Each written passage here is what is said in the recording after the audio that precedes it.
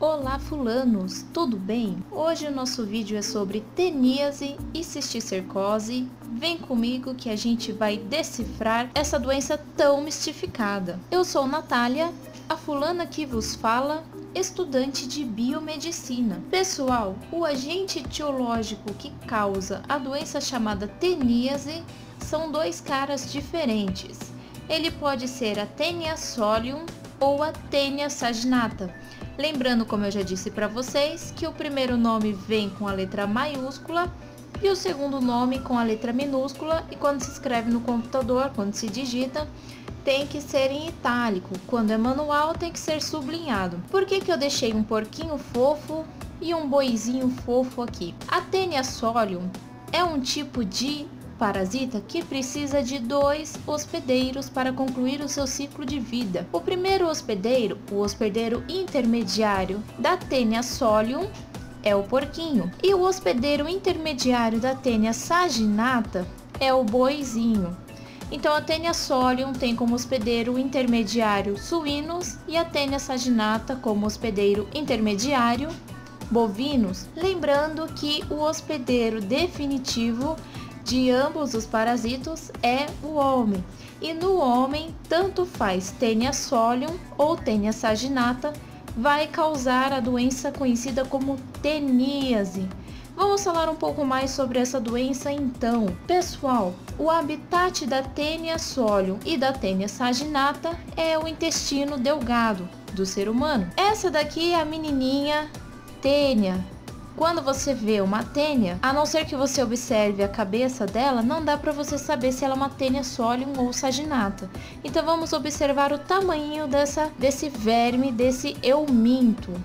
Pessoal, a tênia solium pode ter de 1,5 metro e meio a 8 metros e a tênia saginata de 4 metros até 12 metros e elas ficam no intestino delgado, como mostra aqui nessa imagem para vocês. Sobre a morfologia desse euminto então, para lembrar sobre aquelas definições que nós falamos no comecinho da playlist, você vai lembrar que como ele é um verme de corpo achatado, como você pode ver aqui, ele é um nemateuminto ou um plateuminto? Vou deixar essa para vocês e eu coloco a respostinha na descrição do vídeo. Pessoal, ela é um verme de corpo achatado. Ela tem uma cabeça, um pescoço e um corpo. A cabeça nós chamamos de escólix. O corpo nós chamamos de estróbilo e o pescoço nós chamamos de colo.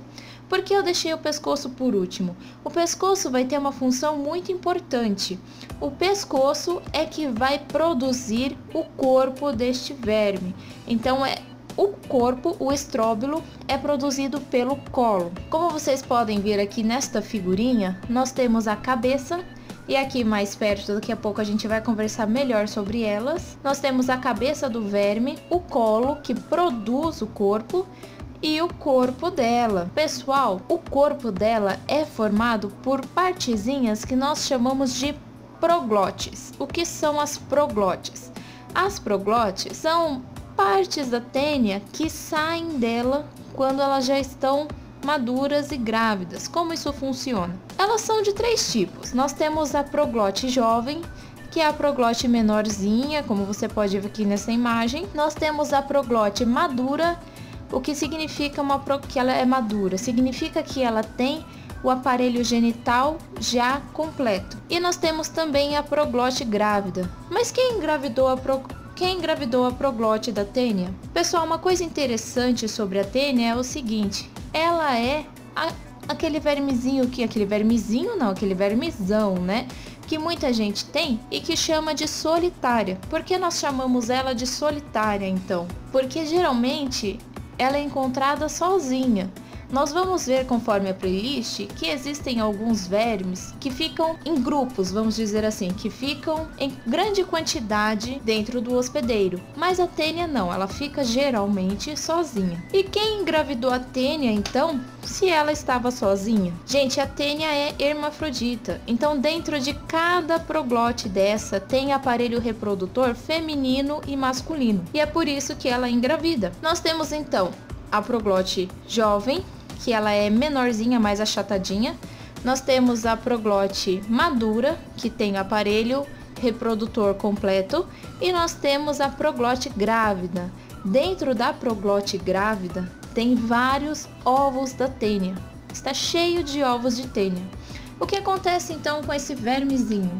Ele vai, o corpo dele é produzido pelo pescoço e quando ele está, quando a proglote está grávida, ela se desprende do resto do corpo e sai nas fezes. Por isso que é comum ouvir dizer que quem tem tênia sabe que tem tênia. Por quê? Porque a proglote vai sair nas fezes.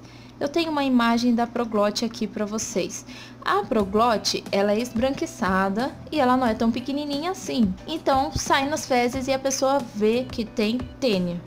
E é importante cuidar, gente, porque teníase é uma doença parasitológica e que pode causar uma doença conhecida como cisticercose, que é uma doença muito mais séria. Mas nós vamos chegar lá. Como você consegue diferenciar então a tênia solium da tênia saginata? A cabeça da tênia solium é diferente da cabeça da tênia saginata. Vamos falar um pouco sobre a morfologia do ovo da tênia. A morfologia do ovo da tênia é a seguinte: é um ovo muito bonito de se ver no microscópio, porque ele tem essa membrana grossa aqui, ó, que nós chamamos de embrióforo, que está protegendo, dando suporte para o ovo, protegendo e deixando o ovo resistente. O ovo, assim como lá no, no parasito protozoário, vamos fazer um link interessante aqui. Quando nós estávamos falando sobre parasitos protozoários, eles tinham que forma infectante? Eles tinham o cisto. Aqui falando de eumintos, falando de vermes, eles não têm cistos, mas ele, eles têm ovos. E o ovo da tênia também é a forma infectante, também é a estrutura de resistência. E o que permite que ela seja resistente? Este embrióforo que protege o ovo, que protege o embrião. O que tem dentro então do ovo? Nós temos essa parte aqui, que nesta imagem infelizmente não dá para ver, mas que muitas vezes tem uma estrutura como, as, como estou fazendo aqui com a seta, uma estrutura reta, que tem uma estrutura dentro dele chamada de acúleos. E geralmente, quando você consegue enxergar esses acúleos no microscópio, você percebe que eles, que eles são em seis, só que eles ficam em pares. São então três pares de acúleos.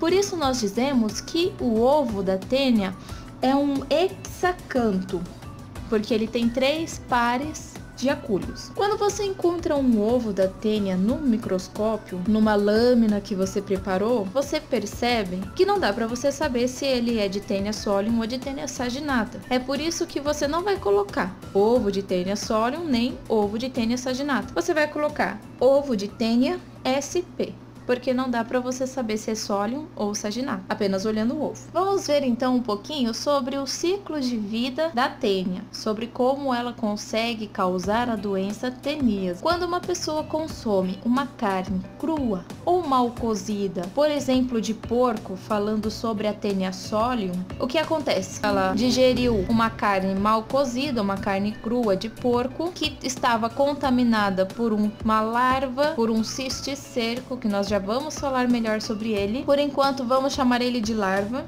Então, ela estava contaminada, a carne estava contaminada com larvas da tênia, uma carne de porco. Essa pessoa consumiu a carne de porco. Lá no intestino, no intestino delgado do homem, do hospedeiro definitivo, esta larva se tornou um verme adulto, se tornou a tênia adulta. A proglote, que está grávida, sai nas fezes do homem. E esta proglote grávida está cheia de ovos. Esses ovos podem contaminar água e alimentos que o porco vai ingerir. Lembrando também que o porco é um animal coprófago. O que significa que o porco dizer que o porco é um animal coprófago. Significa dizer que ele come fezes. Então ele pode acabar ou por contaminação de alimento e água ou porque ele realmente come fezes, ingerir ovos de tênia que estavam na proglote que saíram na sede. O que vai acontecer dentro do porquinho? Dentro do porquinho, esse ovo que ele ingeriu de tênia vai se tornar uma larva, que nós também chamamos de oncosfera. Por quê? Porque ela tem este formatinho aqui. E o que, que vai acontecer? Ela vai se hospedar em, te em tecido muscular do porco. Então ela vai ficar no músculo do porco, que é geralmente a parte que a gente consome da carne do porco. E é esse é o ciclo de vida então, da tênia solium. Vamos ver então um pouquinho sobre a tênia saginata. No caso da tênia saginata, a única coisa que vai mudar é que nós não temos mais o porquinho aqui como hospedeiro intermediário. Como eu já falei, nós temos o boi como hospedeiro intermediário da tênia saginata. No ser humano, ela causa a mesma doença, que é a teníase, mas ela tem um hospedeiro intermediário diferente. Quando você ingere carne crua ou mal cozida, contaminada por larvas de tenias, de tênia, o que acontece? Dentro de você, no seu intestino delgado, ela vai se tornar um verme adulto. E aí, nas suas fezes, vai sair proglótias grávidas, cheias de ovos. E esses ovos podem contaminar o alimento e a água que o animal vai consumir. E aí, ele pode ingerir ovos de tênia e ter na sua musculatura cistes cercos que eu falei que a gente vai chamar por enquanto de larva. E esse é o ciclo da tênia saginata. Vamos falar então sobre a cisticercose, já que a gente já falou que a larva da tênia é o cisticerco. Pessoal, o agente etiológico da cisticercose em humanos é a tênia solium. Lembrando que é importante que vocês tenham isso bem claro na mente. A cisticercose é uma doença diferente da teníase. Teníase é uma doença e cisticercose é outra doença muito mais séria. O agente etiológico em humanos da cisticercose é a tênia solium. A tênia saginata não consegue causar cisticercose em humanos, mas ela consegue causar cisticercose em quem? No bovino. Então vamos lá. Quando eles começaram a estudar sobre a cisticercose, o que, que eles fizeram? Eles colocaram uma nomenclatura diferente da usada hoje em dia. Então eles chamaram o agente etiológico da doença, eles chamaram a larva que causava cisticercose de cisticercos celulosae, não sei se é assim que se pronuncia, no caso do suíno. E no caso do bovino, eles chamaram de cisticercus bol, mas esses nomes não são mais utilizados, eles foram utilizados erroneamente, porque eles achavam que estas larvas eram parasitos diferentes da tênia e na verdade elas são a tênia, só que em um momento diferente da vida da tênia. A larva é o verme que ainda não está na sua forma adulta, por isso é errado utilizar estes dois nomes aqui. Em humanos, quem causa a doença cisticercose é a tênia solium no seu estado de cisticerco. E no boi, quem causa a cisticercose é a tênia saginata no seu estado de cisticerco também. Vamos falar um pouco sobre a morfologia do tal do cisticerco. Do meu coração. O cisticerco, ele tem uma cabeça também, um pescocinho também, e ele tem um corpo que nós vamos dar um outro nome para ele. Nós vamos chamar este corpo de vesícula membranosa. O que é interessante que vocês percebam é que este verme ele tem o potencial para se encistar, para se invaginar. E o que acontece? Ele coloca a cabeça e o pescoço para dentro desta vesícula membranosa e fica assim como se fosse uma bolinha. Quando é que isso vai acontecer? A gente já vai falar direitinho sobre isso no ciclo da cisticercose. Esse daqui é um ciclo bem completinho da tênia e da cisticercose. Falando então sobre o ciclo de vida da tênia solium. O que acontece? Nós vamos focar neste lado aqui do ciclo de vida. Mas só para ter uma continuidade, se o ser humano ingere carne crua ou mal passada que contém larvas, que contém cisticerco do porco, o que acontece com ele? Ele tem teníase, ele desenvolve teníase. Ele vai ter no seu intestino delgado o verme adulto, que vai soltar a proglote madura com ovos de tênia e que pode contaminar alimento. Se o porco ingerir, vai continuar o ciclo da tênia, porque ela precisa de dois hospedeiros. E quais são os hospedeiros? O porco e o homem, no caso da tênia solium. O porco é o hospedeiro intermediário e o homem é o hospedeiro definitivo. Repetindo então só para ficar bem marcadinho para vocês, não errarem isso na prova. E em lugar nenhum, né? Mas no caso do homem ingerir o ovo da tênia, o que, que acontece com ele? Aí sim ele desenvolve a doença chamada de cisticercose. E aí o ovo vai eclodir, a larva vai desenvolver, mas ela não vai se desenvolver em verme adulto, porque ela tá no lugar errado, ela não passou ainda pelo porco. O que, que ela vai fazer? Ela vai se desenvolver em cisticerco e ela vai ficar, vai se encistar, como a gente viu nesta imagem aqui, em algum tecido do corpo humano. E o tecido que ela mais gosta de se encistar é o tecido nervoso, um tecido muito sensível. Pode ocasionar muitos problemas para a pessoa com cisticercose. Se for o caso dela ficar em musculatura, talvez a pessoa tenha doença e nunca nem saiba, nunca nem fique sabendo. É uma possibilidade. Mas se for no caso de ficar em algum tecido tão sensível como o tecido nervoso, ela pode sim trazer muitos prejuízos para a vida desta pessoa. E como que acontece essa ingestão de ovo? Geralmente a gente chama essa ingestão de ovo de heteroinfecção. Então vamos supor que você saiu com seu namorado ou com sua namorada e você foi numa lanchonete. E na, lá nessa lanchonete, a pessoa que está fazendo o lanche tem teníase. E ela foi, usou o banheiro, fez as suas necessidades fisiológicas e não fez higiene adequada das mãos. E aí ela contaminou o lanche que você está comendo, que você comeu. E o que, que aconteceu? Você acabou ingerindo ovo da tênia. Você ingeriu um ovo que vai se desenvolver em cisticerco, em algum tecido do corpo humano. Vou virar essa boca para lá, vou parar de falar que foi você e vou falar que foi um terceiro, né? Melhor assim. Então, se uma terceira pessoa, uma pessoa desconhecida, ingerir ovos, seja por heteroinfecção, ou seja, uma pessoa que não tem tenias e acabou ingerindo um ovo de tênia por contaminação. Também tem a autoinfecção, que é quando a pessoa tem teníase, a pessoa vai ao banheiro, faz as suas necessidades fisiológicas e não faz a higiene adequada das mãos e acaba ingerindo os ovos da tênia por contaminação própria. Isso é raro, geralmente o que acontece é a heteroinfecção, mas em alguns casos podem acontecer. O que acontece então dentro do corpo humano? Uma pessoa foi lá, acabou ingerindo um ovo de tênia por contaminação, e essa ingestão de ovos vai acabar levando este ovo ao estômago dessa pessoa. Depois do estômago dessa pessoa, este ovo vai parar no intestino delgado dela, mas ele não vai se tornar um verme adulto como a gente já comentou. Ele vai se tornar uma larva, um